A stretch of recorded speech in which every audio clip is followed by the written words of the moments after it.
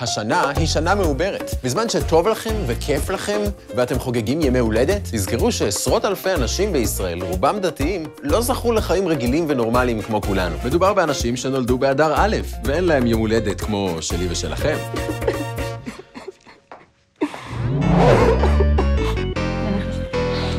לוח השנה העברי מבוסס על הלבנה, אבל חז"ל קבעו שהלוח חייב להתאים גם ללוח המבוסס על השמש בגלל הפסוק שמור את חודש האביב. הבעיה היא שהלוח הירחי הוא קצר יותר בכמה ימים מהלוח השמשי, ולכן כל כמה שנים משפרים את הלוח, מוסיפים לו חודש, אדר א', או בלשוננו, שנה מעוברת. וכך יוצא שיש ציבור שלם שחוגג יום הולדת רק פעם בכמה שנים. כדי לחגוג בכל זאת, הם נאלצים לרדת נמוך. זה עלוב. זה פתטי, ממש מעורר רחמים. אבל השנה, השנה לא צריך לזייף תאריכים או לאנוס את לוח השנה כדי שיתאים לגחמות שלכם.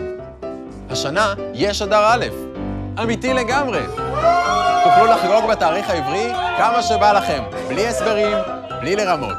מצלמים אותנו? בקיצור, אדר א', כי גם לכם מגיע.